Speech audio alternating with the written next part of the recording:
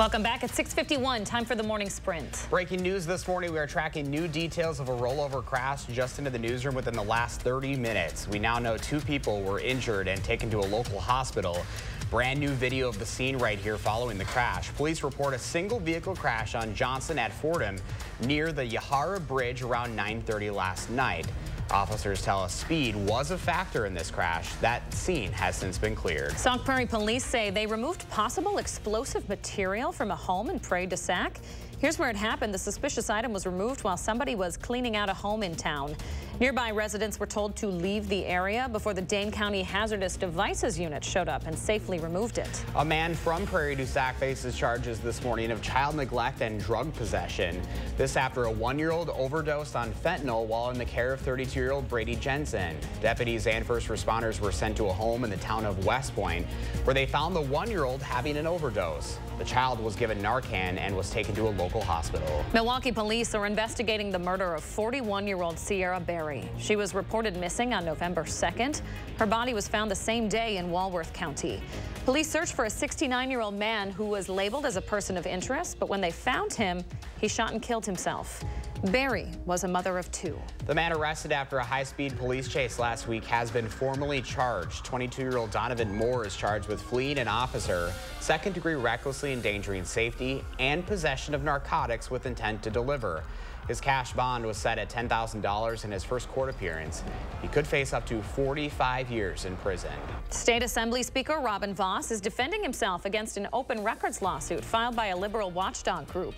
They're seeking documents related to a three-judge panel Vos consulted with during his push to oust Wisconsin's newest Supreme Court Justice, Janet Protasiewicz.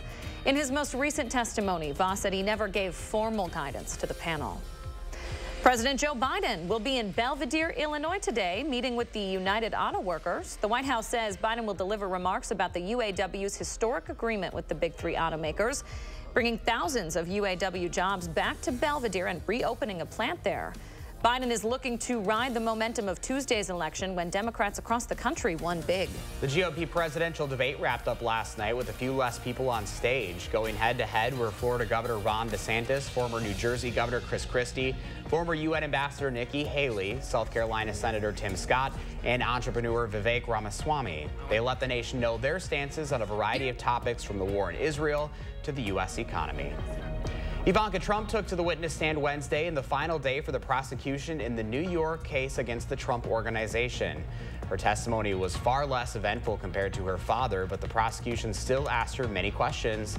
The case continues on with the defense now having time to make their case. Breaking news updates on the war between Israel and Hamas. According to figures released from the Gaza Health Ministry, 18 out of 35 hospitals have stopped functioning within Gaza. The health ministry says the hospitals that remain open are working at less than full capacity due to shortages in their supplies and the inability to create electricity because they lack fuel. This information comes as the conflict continues to escalate with more and more casualties, both civilian and military. A man is behind bars this morning for the stabbing that killed a synagogue leader in Detroit. Samantha Woll was found dead outside her home early morning of October 21st.